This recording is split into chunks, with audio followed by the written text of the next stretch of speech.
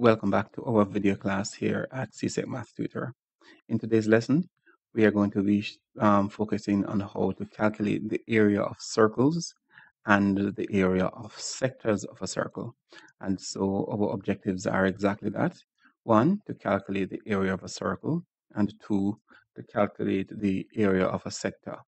For the remainder of the lesson, we're going to be looking at some CXC questions, past questions, in which the area of a sector is used and in which the area of um, a circle is used, and also show you how these questions may also appear on the multiple choice questions, question papers. So let's begin by looking at first the area of a circle. So how did we get the area of a circle to be pi r square? Well, um, let's say, for example, you take your circle and you cut it up into many, many slices, equal slices. And then you take those slices and you arrange them in an order such as this, where you alternate the ends at, at the top and the bottom here. So this entire circumference, um, remember the circumference, you can calculate the circumference of the circle by using the formula circumference equal 2 times pi times radius. So this entire circumference becomes cut in two. So that one end, because half the ends are on this side and half the ends are on this side, then this side becomes pi r, and this side becomes the this this each of these is a, is a radius. So this is the length of the radius. And theoretically, if we could cut these slices small enough, then our shape begins to approach what we call a rectangle. Now, because pi is irrational, it is never technically possible to make a circle into a rectangle. However, the area of this um, rect- uh, of the shape would get sufficiently close to a rectangle so that we can actually calculate the area of the circle using this idea of a rectangle. And so because one side is pi r and this other side is r, and we know that we can find the area of this using base times height or length times width, we can say here pi r times r would give us an approximation for the area of a circle. And so we have a formula that says area is equal to pi r times r, which gives us pi r squared. And that is how the formula for the area of a circle comes up. We can use that formula to do many things, which is to calculate the area of a circle or to reverse and calculate the area of the radius of a circle. So in this question given right here, a circle has an area of 75 square meters.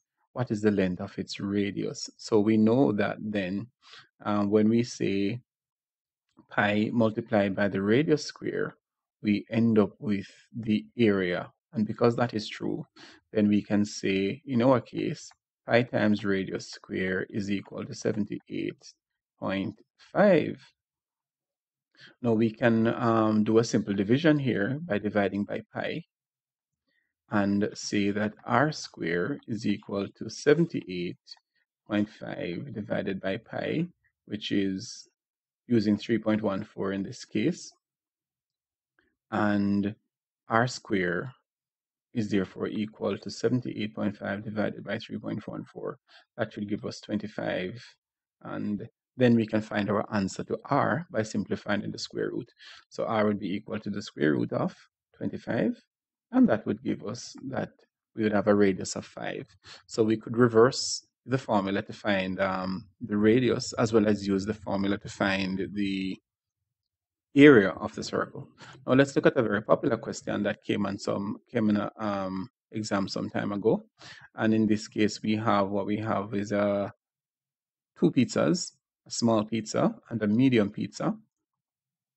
And both are not drawn to scale. And the question is is a medium pizza twice as large as a small pizza? And use calculations to support your answer. So if we're going to decide which pizza is bigger, then since a pizza you're actually dealing with the surface of it, then we're actually dealing with the area of the pizza. So what we need to find is the area. So we have a small pizza with a diameter of 15 and a large pizza with a diameter of um, 30. So the formula being that area is equal to um, pi times the radius square. We're going to use 3.14 here. Then we'd actually have 3.14 times half of 15. Half of 15 is 7.5. Remember that um, the formula uses the radius and not the diameter, so you'd have to divide the diameter by 2 to get the radius, which is um, half of 15 is 7.5. And punching that in your calculator, 3.14 times 7.5 square gives us 176.625 centimeters square. So this is the area of this small pizza. Applying the same thing here. The radius of this one is half of 30, which would be 15.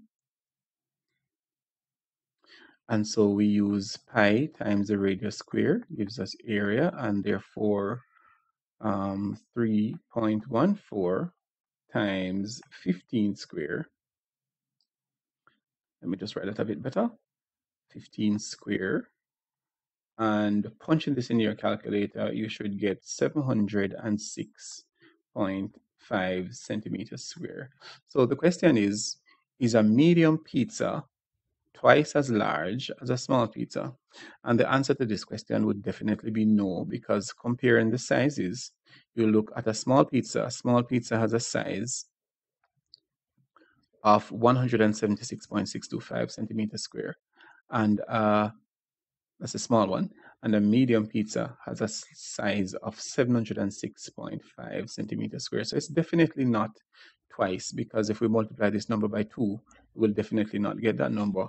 What it is actually is way bigger because if we divide 706.5 um, by 176.625, then what we actually get is 4. So this pizza is actually four times as big as the small as the small pizza and not not even twice. So that's how we'd go about answering this question and giving the um, calculations to support your answer. So a medium pizza, medium pizza is actually equal to four times the size of a small pizza, if you want to write it out and argue it that way. And, and so that's how we use the circumference, the area of a circle to, do, to answer questions like these. Let's move on to another one where we're going to look at the area of a sector. And in calculating the area of a sector, a sector is just a section of your circle that is cut out from the circum from the center to the circumference. Um, imagine it being a slice of a pizza or a slice of cake, um, where the cake is round and you're looking down at the top of it. So the angle over 360 times pi r square is the formula that we use to calculate the the um, area of a sector. So if we want to define the area of the sector here, then we use that formula to determine it. So we can simply go ahead by saying the area of the sector would be equal to the angle. The angle is 55 over 360. And we're going to multiply that by the area of the circle, which is um, pi 3.14 times the radius square. The radius is 5, so we have 5 square. So we have 55 over 360 times 3.14 times 25. And once you punch this into your, your calculator, it should give you 11.99. And we just round that off to 12 centimeters square. So this would be the area of your sector here, 12 centimeters square. Now let's go on to see how these questions are used in um, past, past papers and see. For example, this one says the diagram below shows the cross section of a prism in the shape of a sector of a circle of radius center O and radius 3.5 and the angle at the center is 270 and by the angle at the center what it means is the angle on this side is 270 degrees that is so because this is a right angle cutout and the circle has a angle measure of 360 degrees. So 90 from 360 would leave us with 270. There are a number of ways to answer this question. They want us to use pi as 22 over 7. Um, we could find the entire circle and take out this piece because this is actually a quarter of it. So we could do that. Or you could use the actual formula for um, area of a, of a, of a sector. So let's do that one first. Let's say the area um, of the sector is the angle over 360 times pi r square and they want us to use pi as 22 over 7 so the angle is 270 over 360 times pi which is going to be 22 over 7 times the radius square. I'm going to write this 3.5 as a decimal sorry as a common fraction. Three and a three and a half is the same thing as 7 over 2 and this is squared. So 270 over 360 is 3 over 4 and times 22 over 7 times 22 times um 7 over 2 times 7 over 2 we can do a cancellation there and a cancellation here. And so what we have is 3 times 11 times 7 and that is divided by 2 4 is 8 and once you do that calculation you are going to end up with 28.875 of course you didn't have to go through all of that. You could simply type it into your calculator and get your answer. So the area of the sector here 28.875 we could round that off a number of different ways centimeters squared. We could round it off to the nearest whole number being 29, or we could round it off to different numbers of decimal places or significant figures, depending on how the question would ask you. So this is almost 29 um, centimeters square. So we're going to approximate it to the nearest whole number and leave it there.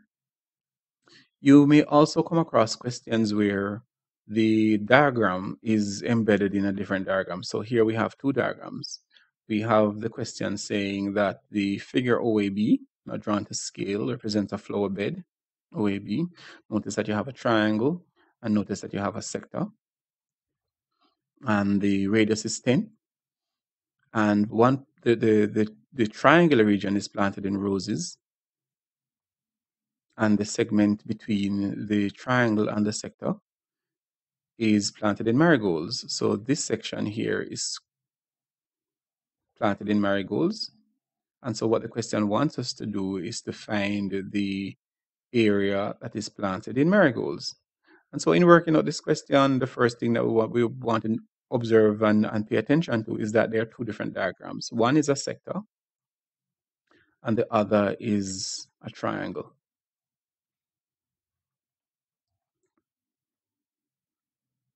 And notice that the, the, the sector is actually bigger than the triangle. So we could actually go ahead now and say in order to get this shaded region, we'd have to subtract the area of the triangle from the area of the sector if we wanted to find this, this shaded region right here, um, the, the marigold region. And so in using the area of a sector, we'd have 36, that's the angle, over 360 multiplied by pi, pi is 3.14, times the radius square. The radius is 10, so it's 10 square. And the triangle, we are going to be using the formula half AB sine C. So the triangle ends up being half times A and b are the radius in this case. So it's half times 10 times 10 times the sine of the angle, which is sine 36. And so let's now let's do our calculations. So 36 over 360 ends up being 1 over 10. So 1 over 10 times 100 times 3.14 turns out to be a simple calculation. 10 into 100 is 10, and 10 times 3.14 gives us 31.4 um, meters, square meters. So that is for the area of the sector.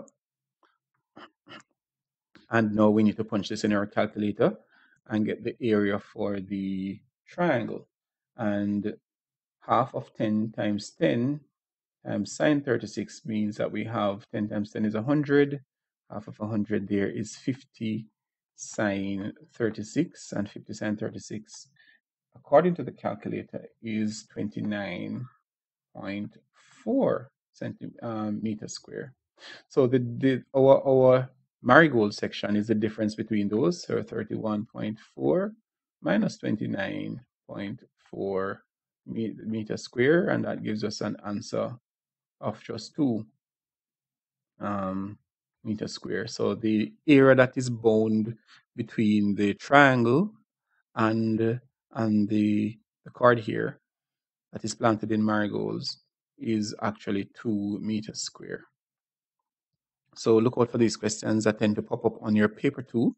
Sometimes they're mixed with all different shapes. Sometimes it's squares or other things that you may need to apply more than one formula to get out, but that's exactly how you go about doing them. Note, it, note the shape that you have and apply the correct formula to finding what you need.